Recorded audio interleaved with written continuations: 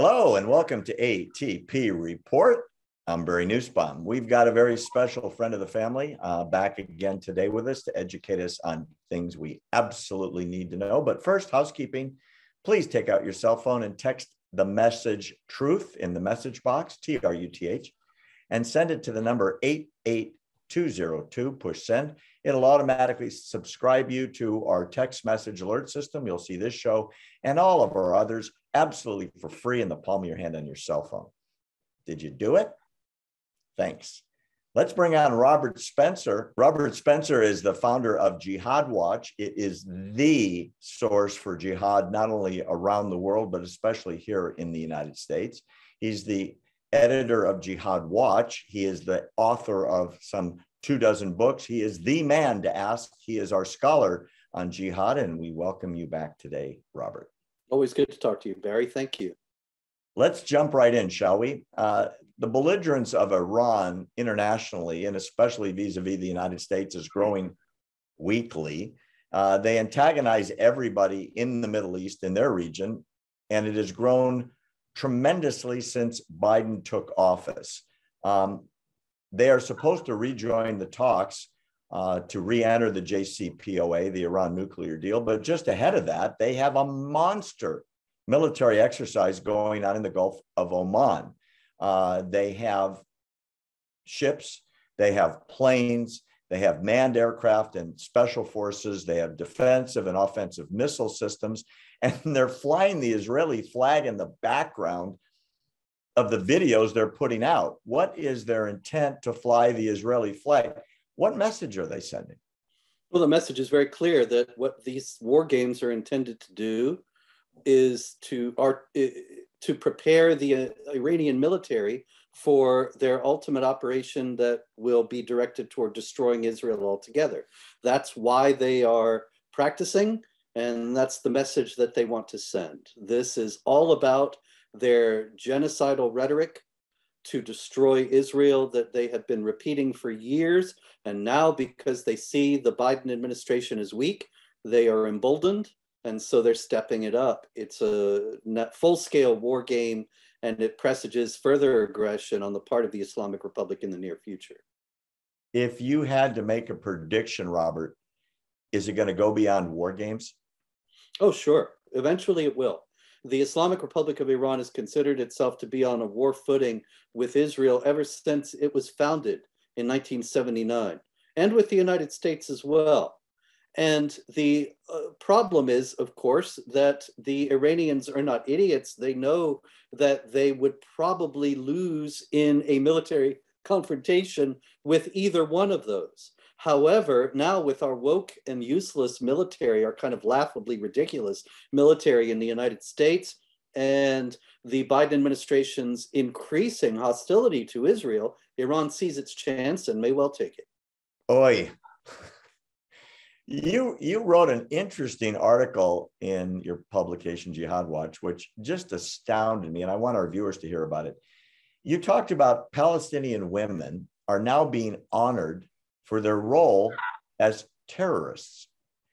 The National Palestinian Women's Day just took place, and the PA Minister of Women's Affairs, Amal Hamad, highlighted female martyrs and mass murderers as proof that there's gender equality in Palestinian society.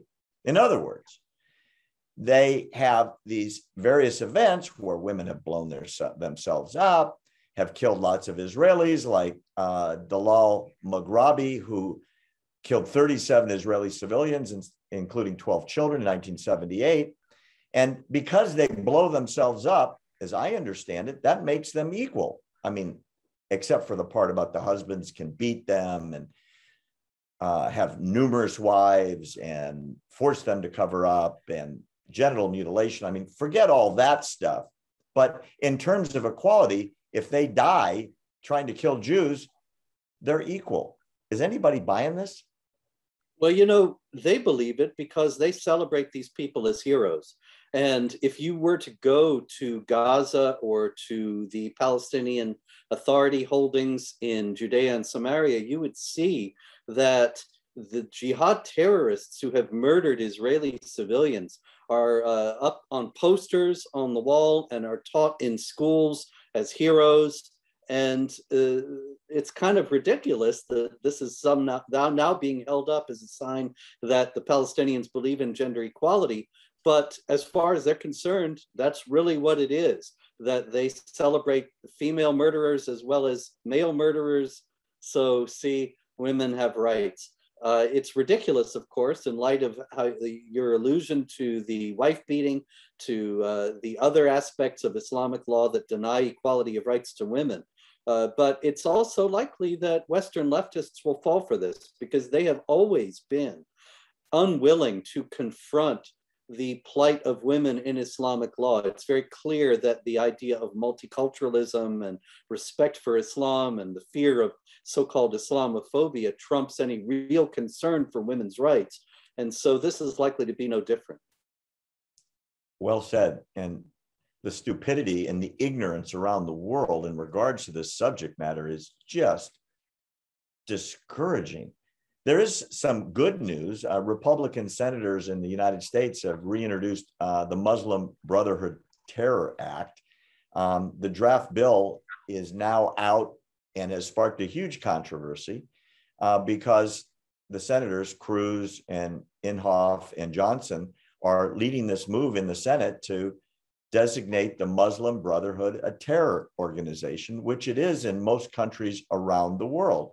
But for some reason, in the United States holding these people accountable for their terror around the world seems to be inappropriate, I guess.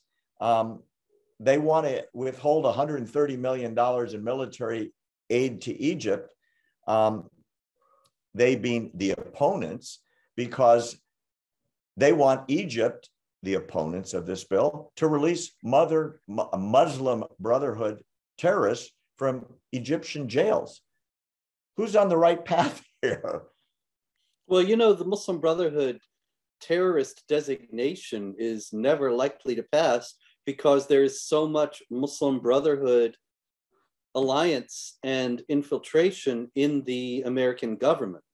Remember that a few years ago, uh, former Congresswoman Michele Bachmann introduced a uh, bill to compel the United States to examine and investigate Muslim Brotherhood infiltration into the US government. And she was denounced on the Senate floor by John McCain, denounced by the establishment media as Islamophobic and racist. And there was never any investigation. But meanwhile, an Egyptian paper Rosa El-Youssef in the at the end of 2012, at the time that the Muslim Brotherhood regime was in power there, actually was celebrating the fact that there were Muslim Brotherhood operatives in the US government that had turned the US around from being hostile to the Brotherhood to being favorable to it.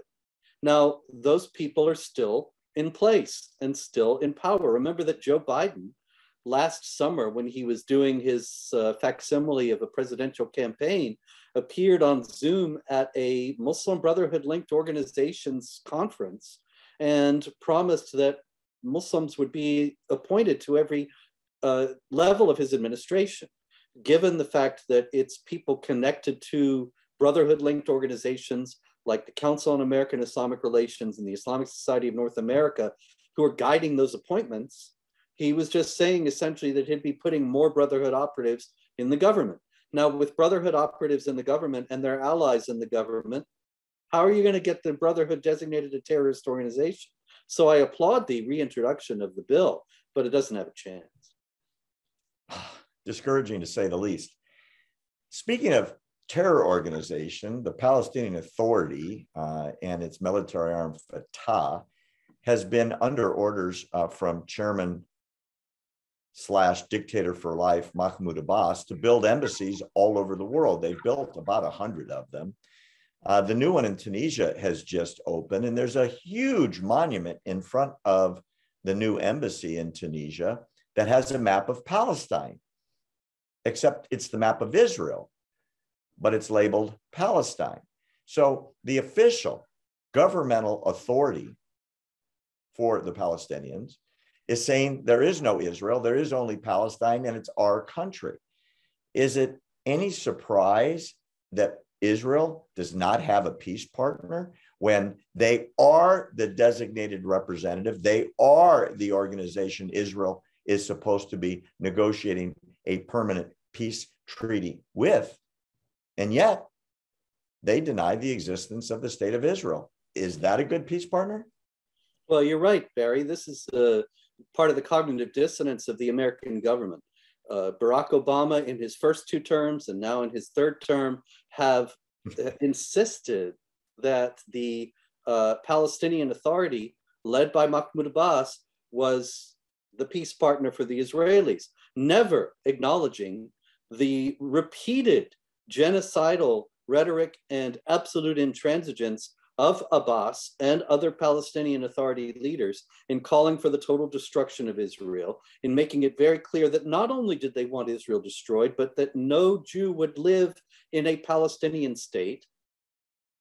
And they're the peace partners. And so it's very clear why there's no peace. It's all on the side of the Palestinians and their intransigence that comes from the jihad doctrine, drive them out from where they drove you out, which is in the Quran, chapter 2, verse 190. This is the complete, all encompassing obstacle to peace that makes all of the negotiations an empty exercise. And quite frankly, as a, as a parting thought, the word from the territories, the Palestinian territories, is if Abbas ever would become a little bit conciliatory before he dies, um, they'll kill him. So he's between a rock and a hard place, so to speak. Robert, tell our viewers today where they can follow you and read your stuff. Yeah, I'm at jihadwatch.org online and jihadwatchrs on Twitter. There is a Facebook page if you can find it, but it's very hard because Facebook doesn't want you to know about the nature and magnitude of the jihad threat today thanks for coming on. We so, so appreciate your wisdom. And for everybody out there in ATP land, please follow Robert Spencer. He says things you need to know. And I hope you took my advice and my request at the beginning of this segment to sign up for our text message alert system. You know how to do it. Just text the word truth and send it to 88202. Push send. You'll be signed up for free. We never charge for content. And you'll see all of our stuff like the brilliant Robert Spencer in the palm of your hand. For ATP Report, thanks for joining us today. I'm Barry Nussbaum.